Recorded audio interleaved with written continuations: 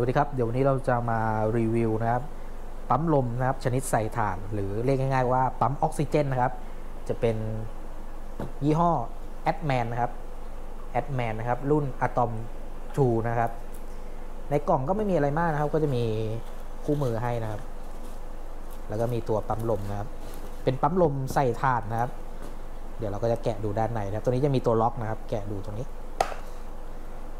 นี่นะครับจะใส่ถ่านด้านในโอ้นี่เขามีหัวทรายลูกเล็กมาให้ด้วยนะครับ มีหัวทรายลูกเล็กกับสายออกซิเจนนะครับ จะใช้เป็นถ่านขนาดก้อนใหญ่เลยนะครับสองก้อนนะครับนี่นะครับเป็นก้อนแบบนี้นะครับไทดีนะครับตัวดีนะครับ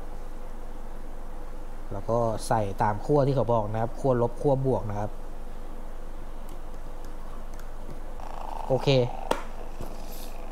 ดี๋ยวเรามาดูความแรงกันนะครับ นี่นะครับ ถ้าเราใส่สุดเลยได้ไหม จะดูว่าแรงดันมันจะได้สูงขนาดไหน เอาย่อนลงไปลึกๆเลยนะครับ อ่างนี้จุน้ำประมาณ50เซนนะครับ โอ้ก็ถือว่าโอเคนะ แรงได้ระดับหนึ่งนะครับ ถ้าปลาไม่เยอะมากนะ ถ้าปลาเยอะมากๆ ตัวเดียวก็อาจจะไม่อยู่นะ เดี๋ยวลองมาดูการใช้กับตู้ปลาดูนะครับ นี่นะครับ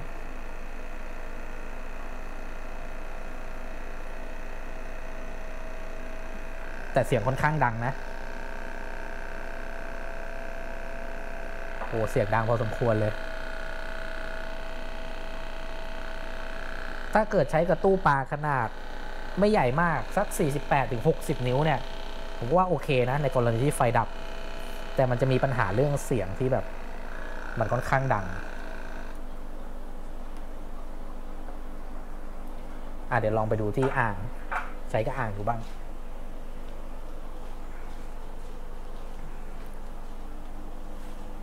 อันนี้ก็เป็นอ่างที่เราปล่อยปลาทองว่ายไล่ผสมพันธุ์กันอยู่นะครับ เดี๋ยวเราลองมาใช้กับอ่างที่มีความสูงของน้ำสักประมาณ 20 เซนดูบ้างนะครับ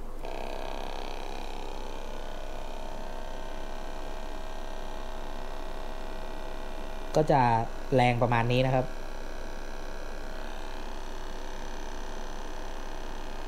ก็ถือว่าใช้ได้นะครับ แต่มันยังมีปัญหาเรื่องเสียงว่าเสียงมันดัง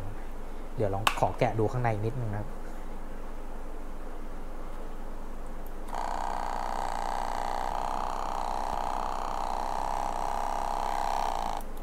ระบบสั้นตัวนี้มันดังนะครับ